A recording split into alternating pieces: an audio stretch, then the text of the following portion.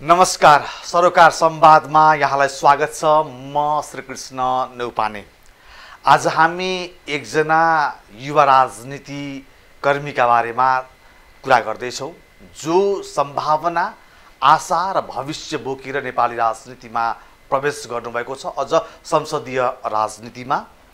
विद्यार्थीकालको राजनीति छोडेको केही वर्ष नपुग्दै झन्डै डेढ वर्ष नपुग्दै उहाँले संसदीय राजनीतिमा एउटा नयाँ सम्भावना र अवसर सँगसँगै चुनौतीका साथमा संसदीय राजनीतिमा प्रवेश गरिरहँदा उहाँले त्यहाँका नागरिकको अपेक्षा ती नागरिकहरूका समस्यालाई कसरी लिपिबद्ध रूपमा आफ्नो योजनामा पार्नु भएको छ त्यो प्रश्न त म सोध्ने नै छु। सँगसँगै मकवानपुर क्षेत्र नम्बर दुई जहाँ दुई हजार अडचालिस सालदेखि तत्कालीन नेकपा एमालेका नेता विरोध खतिवडाले लगातार चार पटकसम्म त्यहाँबाट चुनाव जित्नुभयो र अहिले उहाँ पार्टी टुक्रिएर गइसके पछाडि नेकपा एकीकृत समाजवादीमा रहँदा उनै नेतासँग उहाँले चार हजारभन्दा बढी मतान्तरले त्यहाँबाट निर्वाचित भइसके पछाडि महेश बर्तौला नेपाली राजनीतिको एउटा केन्द्रमा पनि हुनुहुन्छ चर्चामा हुनुहुन्छ र उहाँबाट सिङ्गो नेपाली राजनीतिले एउटा अपेक्षा गरेको छ कि र आम मानिसले पनि अब राजनीतिमा युवाहरूको भूमिकालाई खोजी गरिँदै गर्दाखेरि उहाँको जुन आगमन भएको छ त्यो आगमनले अब युवा राजनीतिलाई कुन दिशामा डोर्याउँछ उहाँहरूले काँधमा बोकेका जिम्मेवारी के के हुन् यी यस्तै विषयमा आज हामी छलफल गर्दैछौँ। मकवानपुर क्षेत्र नम्बर दुईबाट प्रत्यक्ष निर्वाचित सांसद महेश बर्तौलासँग मान्यज्यू नमस्कार स्वागत। धन्यवाद नमस्कार। तपाईँलाई हामीले धेरैचोटि विद्यार्थी नेताका रूपमा पनि हामीले देख्यौँ। विद्यार्थी नेताका रूपमा जति बेला तपाईँहरू प्रश्न गर्ने ठाउँमा हुनुहुन्थ्यो प्रश्नहरू गर्नुहुन्थ्यो ती प्रश्नहरूलाई हामीले हाम्रा मिडिया मार्फत पनि उजागर गरेका छौँ। र अहिले आएर तपाईँ एउटा प्रश्न सोध्ने ठाउँबाट जवाफ दिनुपर्ने ठाउँमा पुग्दै हुनुहुन्छ पुग्नु भएको छ होइन? र संसदको राजनीतिमा प्रवेश गरिरहँदाखेरि तपाईँलाई मकवानपुरका जनताले जसले चार चारवटा कार्यकाल विश्वास गरेका व्यक्तिलाई पनि पाखा लगाएर एउटा युवालाई अघि सारेका छन्। तपाईँलाई त्यहाँका नागरिकले विश्वास गर्नुको कारण चाहिँ के हो जस्तो लाग्छ तपाईँलाई? धन्यवाद। महत्त्वपूर्ण प्रश्नका लागि। पहिलो कुरा त जनताहरूले परिवर्तन चाहन्थे। पटक पटक भूमिकामा रहेका व्यक्तिलाई भन्दा नयाँ भूमिकामा कसैलाई उभ्याउँदा उपयुक्त हुन्छ भन्ने ठाने। त्यो सँगसँगै विगतका कामहरूको पनि एक प्रकारले नागरिकले मकवानपुरका जनताहरूले समीक्षा गरे। किनभने मसँग जोडिएर विगतका धेरै पक्षहरूको बारेमा अध्ययन गर्ने समीक्षा गर्ने अर्थात् मेरा कामका विषयमा तौलिने जजमेन्ट गर्ने त्यो अवसर जनतालाई प्राप्त भएको थिएन। मेरो प्रतिस्पर्धामा रहनुभएको आदरणीय विरोध खतोडा दाजु उहाँ दुई हजार त्रिचालिस सालदेखि उहाँ संसदीय राजनीतिमा जोडिनुभयो। त्रिचालिस सालको निर्वाचनमा उहाँले पराजित हुनुभयो राष्ट्रिय पञ्चायत निर्वाचनमा अडचालिसदेखि लगातार जित्दै आउनुभयो। पटक पटक उहाँको क्षमता योग्यता उहाँको प्रतिभा मकवानपुरको जिन जनताले सदुपयोग जति गर्नु पर्थ्यो सदुपयोग गर्नुभयो। उहाँले जति कन्ट्रिब्युसन गर्नु पर्थ्यो सायद उहाँले गर्नुभयो। कतिपय चाँडा चाँडै गर्न भ्याउनु भएन होला। तर जनताले यो पटक नेकपा एमालेको तर्फबाट प्रस्तुत गरेको एउटा युवा उम्मेदवारलाई हामीले जिताउनुपर्छ भन्ने ठान्नुभयो त्यसकारण नेकपा एमालेका आम शुभेच्छु शुभेच्छुक मतदाता समर्थकहरूले मात्रै होइन। नेपाली काङ्ग्रेस माओवादी अन्य राजनीतिक पार्टीसँग आबद्ध भएका आम दाजुभाइ दिदीबहिनीहरूले पनि साझा भावनाका साथ साझा प्रयत्नका साथ उहाँहरूले आफ्नो अमूल्य मतदान सूर्य चिन्हमा गर्नुभयो र विजय गराउने एउटा अवस्था निर्माण भयो। अर्को कुरा निर्वाचनको प्रक्रिया र त्योभन्दा अगाडि चौहत्तर सालमा नेकपा एमालेबाटै उहाँ विजयी हुनुभएको थियो। बिचमा पार्टी विभाजन गर्ने प्रक्रियामा उहाँको भूमिका अलिकति नकारात्मक भयो भन्ने थियो। त्यो जनताले बुझेका थिए। पार्टी विभाजन गरेर अन्य कुनै गठबन्धन बनाएर एक थान मन्त्री बन्नका लागि त्यो भूमिका खेल्ने व्यक्तिप्रति भन्दा नयाँ अपेक्षा गरौँ भन्ने हिसाबले पनि कहिलेकाहीँ कामको जनताले विभिन्न कोणबाट मूल्याङ्कन गर्दो रहेछ भन्ने पनि निर्वाचनको परिणामले देखाउँछ। त्यस कारणले गर्दा विगतको कामको समीक्षा विगतमा पार्टीको भूमिका पार्टीलाई बलियो बनाएर जाने कुरा भन्दा पनि पार्टीलाई विभाजनमा अलिकति भूमिका खेलेको त्यो चिजमा पनि जनताहरूले पार्टी कार्यकर्ताहरू रुचाएन होइन? यस त्यो कुरा जजमेन्ट गरेको थियो। किनभने यो निर्वाचनमा त जनताले आफ्नो सार्वभौम विवेकको प्रयोग गर्ने कुरा हुन्छ। त्यसो हुँदाखेरि त्यसमा कुनै हुइप कुरा हुँदैन। पार्टीले आफ्नो आम आह्वान विचार मार्फत घोषणा पत्र मार्फत गरिरहँदाखेरि जनताले आफ्नो विवेक सङ्गठित कार्यकर्ताहरूले पनि कहिलेकाहीँ आफ्नो विवेक प्रयोग गर्दो रहेछ भन्ने कुरा यो निर्वाचनमा हामीले देख्यौँ। तपाईँ उम्मेदवारी लिएर जाँदै गर्दा टिकट लिएर जाँदै गर्दाखेरि त्यहाँको भोटको क्यालकुलेट त पक्कै भयो होला। तत्कालीन सत्ता गठबन्धनसँग त तपाईँको पार्टीको भोट भनौँ त बिस बाइस हजार बढी भोट देखिन्थ्यो सरसर्ती हेर्दाखेरि। हजुर। किनकि भर्खरै स्थानीय तहको निर्वाचन पछाडि हो। यो निर्वाचन भइरहेका थियो। त्यो हेर्दाखेरि बिस बाइस हजारको मतान्तर भएको ठाउँमा महेश वर्तलाल टिकट दिइरहौँ न भनेर एमाले उम्मेदवार नभेटाएर पो तपाईँलाई दिएको हो कि कस्तो? तपाईँ चाहिँ चुनावमा जाँदै गर्दा तपाईँलाई जित्छु भन्ने लागेको थियो?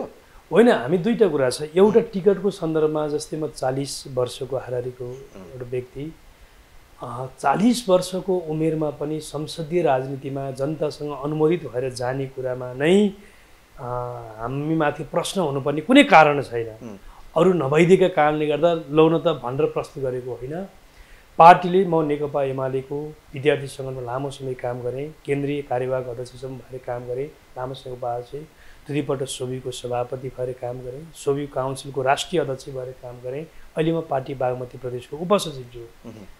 यति जिम्मेवारी वहन गरेर आएको व्यक्तिले सङ्घीय प्रतिनिधि सभाको सांसदको टिकट पाउने कुरो यो स्वाभाविक प्रक्रिया हो। नेकपा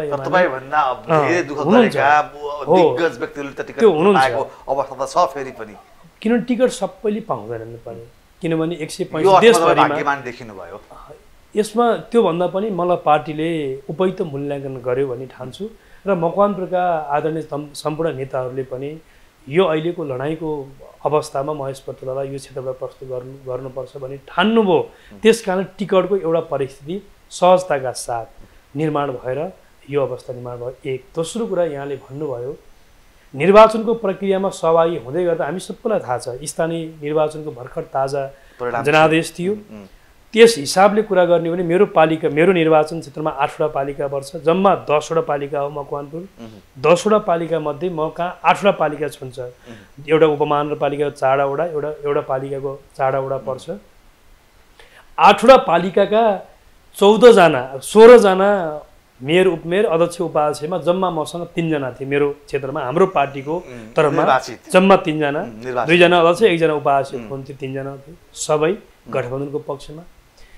बैसठीवटा वडा छ मेरो निर्वाचन क्षेत्रमा सिङ्गो जिल्लामा एक सय दुईवटा वडाहरूमध्ये मेरो निर्वाचन क्षेत्र त्यो असाध्यै ठुलो निर्वाचन क्षेत्र हो बैसठीवटा वडा छ त्यो बैसठीवटा वडामा त्रिचालिसवटा वडाध्यक्षहरू उहाँको।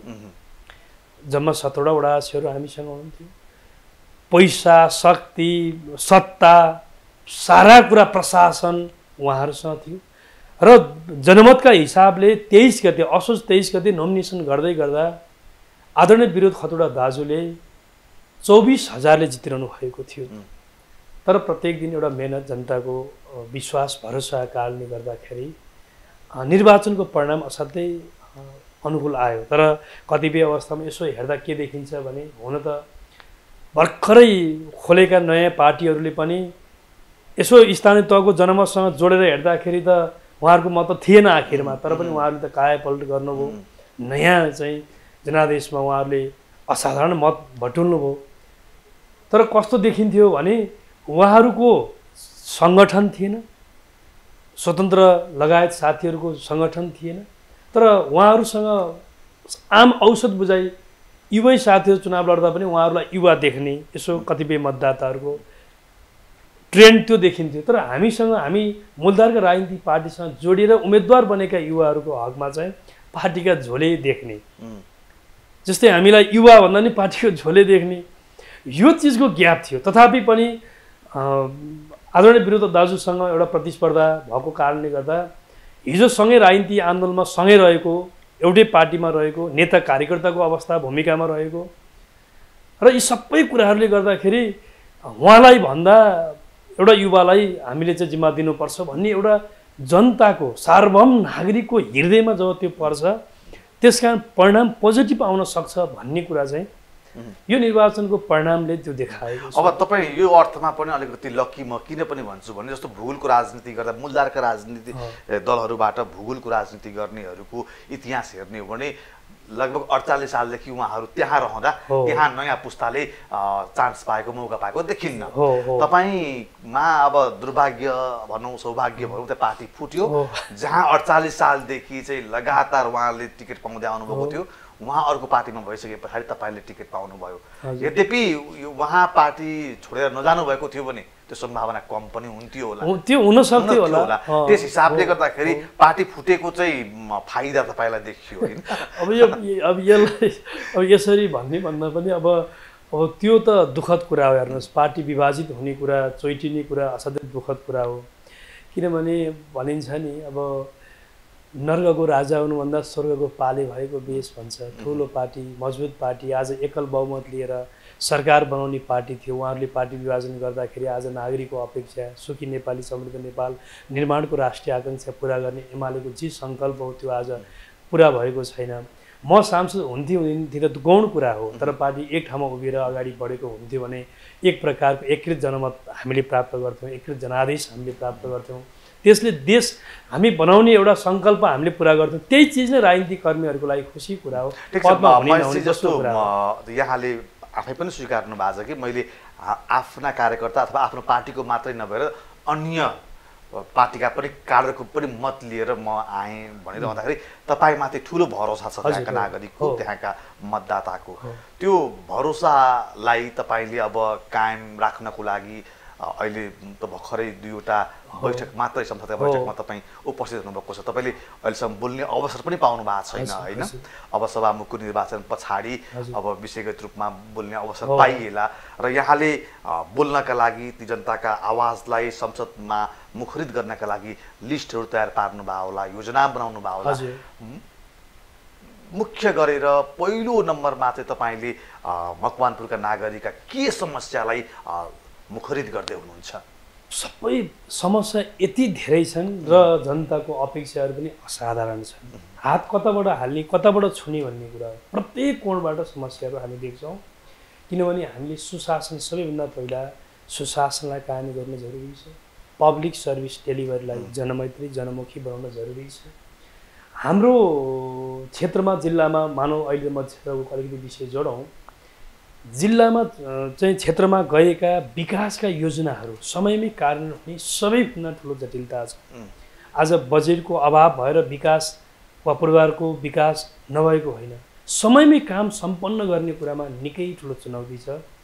म हिजो भर्खर एउटा बाटो फाखेल यो चखेल देउराली हुँदै मातातीर्थ एउटा बाटो छ। छयत्तर सालमा टेन्डर भएको त्यो बाटो तेइस करोडमा। आज अठार महिनाको लागि टेन्डर भएको सम्झौता भयो। चार चार पटक म्याद थपेर आज उम्, सालको छेउछाउमा आइपुग्दा समेत त्यो बाटोको पचास प्रतिशत काम सम्पन्न भएको छैन।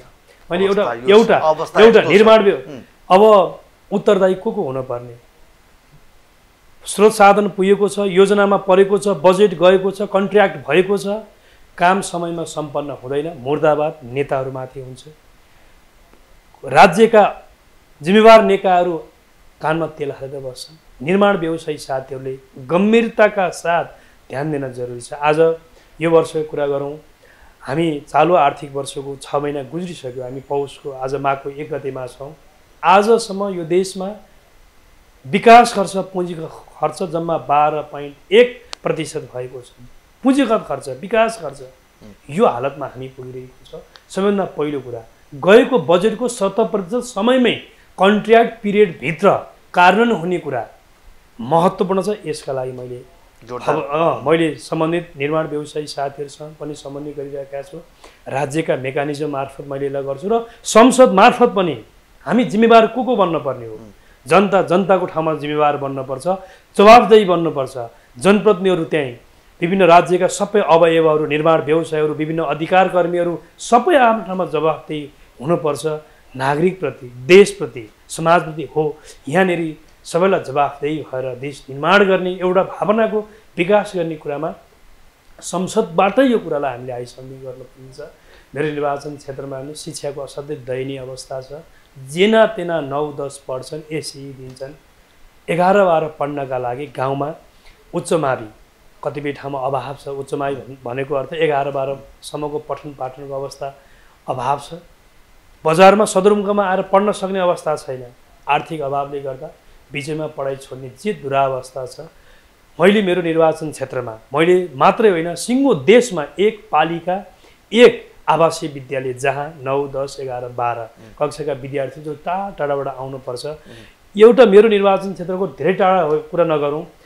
थाहा नगरपालिका नगरपालिकाभित्र एघार नम्बर र बाह्र नम्बर वडा जहाँका बच्चाहरू नौ दस पढ्नका लागि एघार बाह्र पढ्नका लागि बिहान पाँच बजी उठेर दियालो बालेर आउनुपर्छ। यो अवस्था छ अझै छ।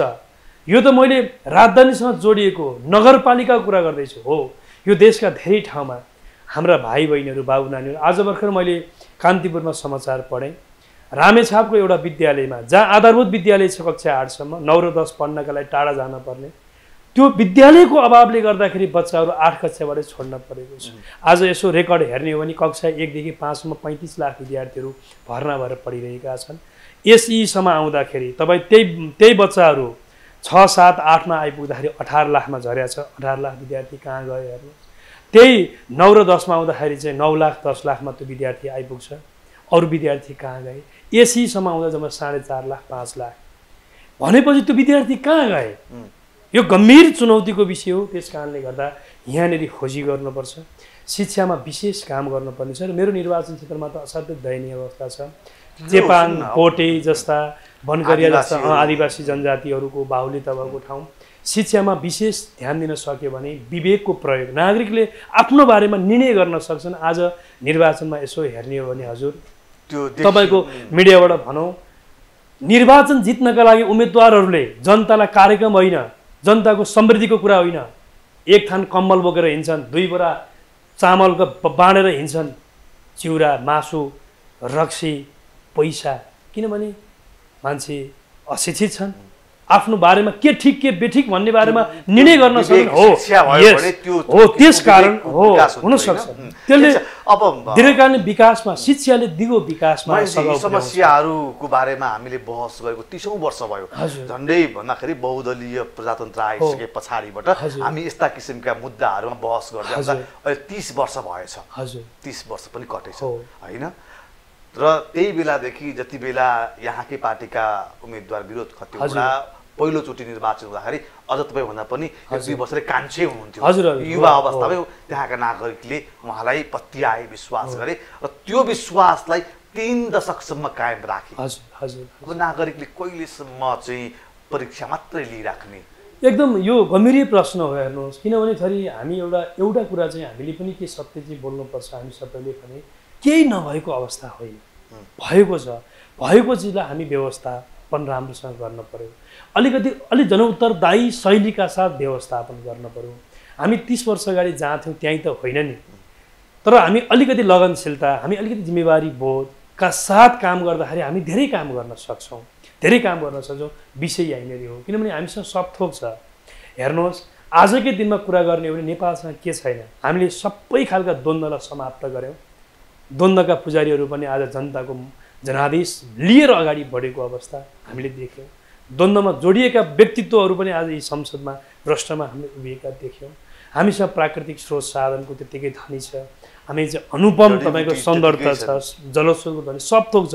हामीसँग दुईवटा चिज हुनु छ यो देश बन्नका लागि। एउटा कुरा पर क्षतिसम्म देख्ने निस्वार्थ भावले क्षतिसँग क्षतिसम्म देख्ने राजनीतिक राजनीतिक नेतृत्व हामीलाई चाहिएको छ।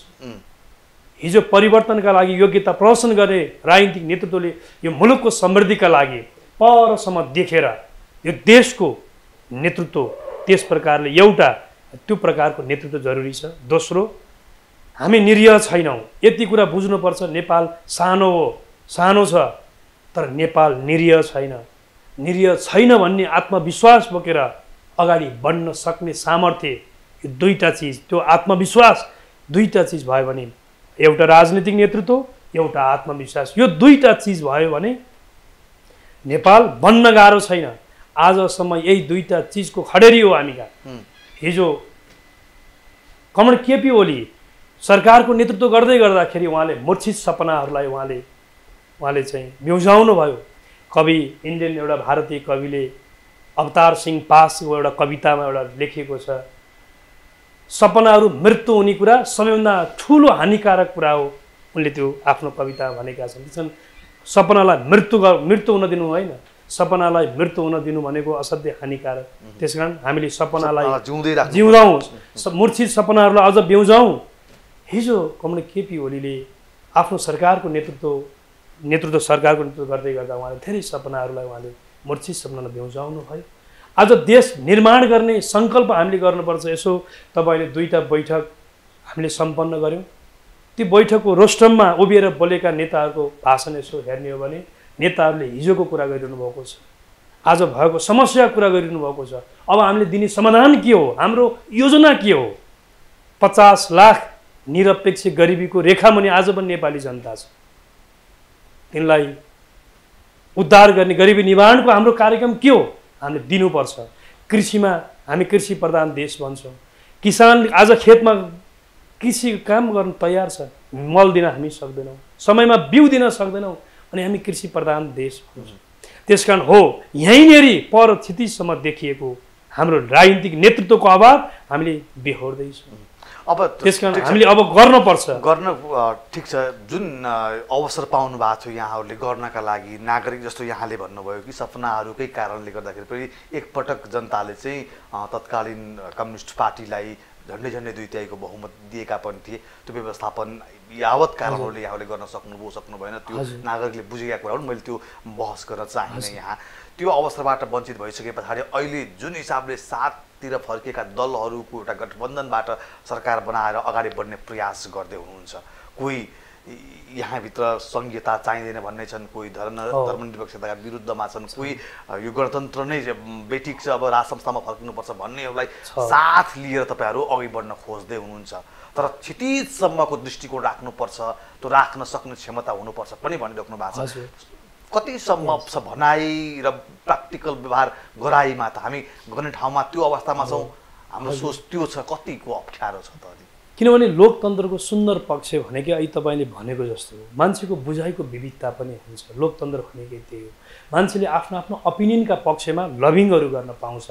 जनतामा मान्छेहरूले आफ्नो ओपिनियनहरू धारणाहरू प्रतिबद्धताहरू लिएर जान जनताले एक प्रकारको म्यान्डेट दिएर पठायो। किनभने यो जनताको अहिले प्राप्त भएको म्यान्डेट र जनादेशलाई हामीले अस्वीकार गर्न सक्दैनौँ। हामी यही विधिलाई किनभने हामी प्रतिस्पर्धामा श्रेष्ठता हासिल गर्ने त्यसको माध्यमबाट राज्यकै जिम्मेवारीबाट आमूल सामाजिक आर्थिक रूपान्तरणको कार्यभारलाई पुरा गर्ने। हामी त्यो एउटा कार्यदिशालाई बोकेर हामी अहिलेको संविधानलाई शिरमा राखेर अगाडि बढिरहेका छौँ। त्यसकारण अहिलेको जनादेशले तपाईँले भने जस्तो सप्तरङ्गी भावनाहरू यो सरकार निर्माणको प्रक्रियामा जोडियो। किनभने कुनै पनि राजनीतिक पार्टीको आइडियोलोजीको आधारबाट घोषणापत्रको आधारबाट जनताले अनुमोदन गरेन।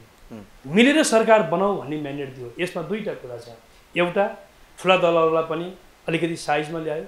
नयाँ उदाउने दलहरूलाई पनि अलिकति माथि उठाइयो। सेकेन्ड ब्यालेन्स गर्यो एक दोस्रो कुरा यो पाटोबाट हेर्दाखेरि सबै मिलेर देश बनाऊ भन्ने जनताले म्यान्डेट दियो भन्ने एउटा कोण। दोस्रो कुरा जनताले गल्ती पनि गरेका छ जनताले के त कुनै राजनीतिक शक्तिलाई एकल सरकार निर्माण गर्ने एक प्रकारको जनादेश यो क्रिटिकल अवस्थामा दिनु पर्थ्यो दिएको एमाले त्यो। अपेक्षा गरेको थियो। हामीले जनतालाई अपिल गरेका थियौँ।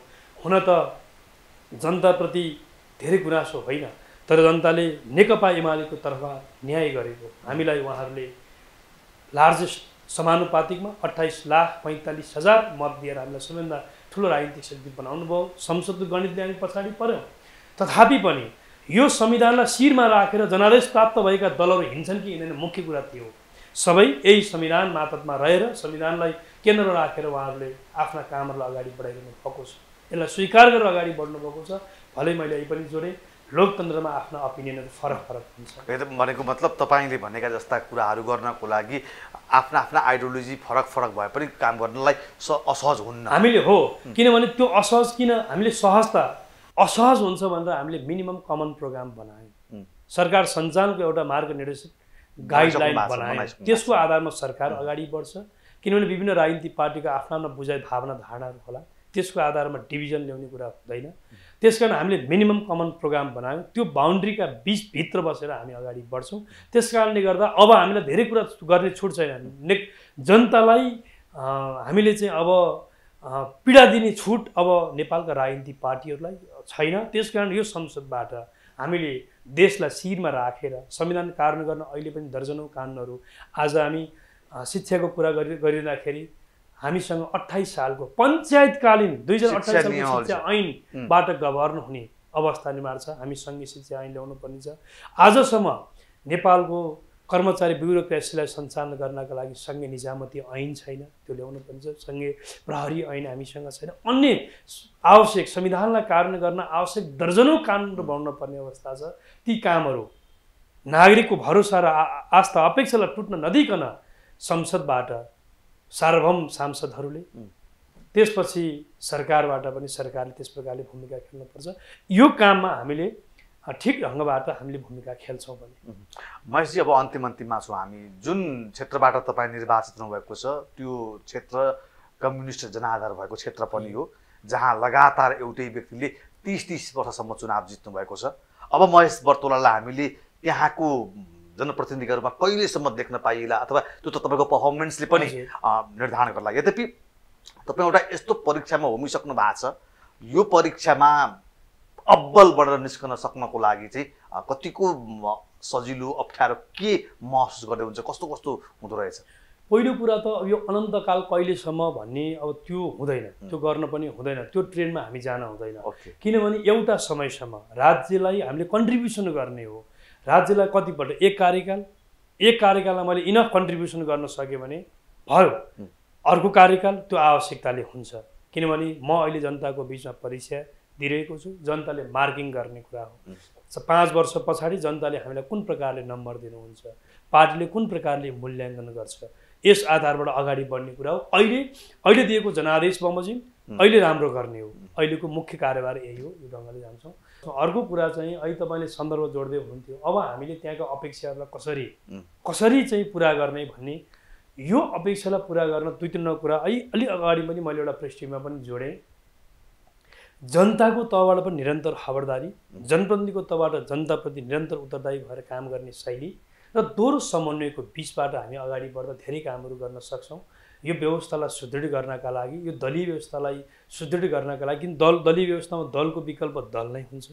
हामीले यो निर्वाचनको परिणामबाट मूलधारका राजनीतिक पार्टीहरूले केही समीक्षाहरू पनि गर्न जरुरी छ। किनभने आज हामी काम गर्दा गर्दै जनताको प्रश्न घेरामा हामी किन बढी पर्यौँ?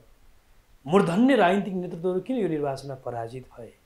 हाम्रा काम गर्ने स्वभाव शैली तौर तरिकामा हामीले कतै हामीमा अलिकति समीक्षा गर्नुपर्ने छ। यो समग्र पाटोको बारेमा पनि हामीले हामीले पनि ख्यालपूर्वक अगाडि बढ्नुपर्छ। त्यस हिसाबले जाँदाखेरि जनअपेक्षाहरूलाई पनि हामी ठिक ढङ्गले जनअपेक्षा पुरा गर्नको लागि कार्यकारी पदमा पनि पुग्नु पर्ला अब राजनीति सत्ताका लागि नै हुन्छ र सत्ता केका लागि भन्ने प्रश्न भइरहँदाखेरि त्यो क्षेत्रमा चाहिँ लगभग त्यहाँका नागरिकले मन्त्री सरकारका चाहिँ नपाइरहेको सन्दर्भमा तपाईँको सन्दर्भमा चाहिँ फेरि तपाईँ पनि मन्त्री बन्नका लागि पार्टी छोडेर हिँड्नुपर्ने अवस्था नआओस् भन्ने त्यहाँका नागरिकको चाहना पनि होला। त्यस्तो अवस्था आउँछ कि अथवा सहजै हुन्छ। छोटोमा त्यस्तो अवस्था हुँदैन किनभने त्यो दुर्भाग्यपूर्ण कुरा हो हिजो उहाँले गर्नुभयो किनभने नेताले आवश्यकताको मूल्याङ्कन गर्ने हो किनभने जिम्मेवारी भन्ने कुरा आवश्यकताको आधारमा निर्धारण। अथवा त्यहाँका नागरिकले हिजो। सरकारको मन्त्री। पाउँछन् किनभने मकवानपुरले आजसम्म केन्द्रीय राजनीतिमा केन्द्रीय राजनीतिमा पटक पटक नेकपा एमाले उठाएको उम्मेद्वारलाई जिताएर पठाइरहेको छ पार्टीले जनताले यस पार्टीले पार्टीले के जनताले अनुमोदन गर्ने कुरामा जनताले अनुमोदन गरेर पठाएको छ। अब नेताहरूले र पार्टीले निर्णय गर्ने। कुरामा निर्णय गर्ने कुरामा लिडरसिपले सोच्ने कुरा भयो। यसमा धेरै किनभने हामी सहिलो मकवानपुरीहरू सहिलो छौँ। हामीलाई भाग दिएन भनेर हामी रोएर कोपारेर हिँड्दैनौँ। हामी आफ्नो निरन्तर जे जनादेश छ त्यो ड्युटी पुरा गरेर अगाडि बढ्छौँ। हस् समय र संवादका लागि यहाँसम्म आइदिनु भयो। यहाँलाई धेरै धेरै धन्यवाद। हस् यहाँलाई पनि धेरै धेरै धन्यवाद। नमस्कार। हजुर।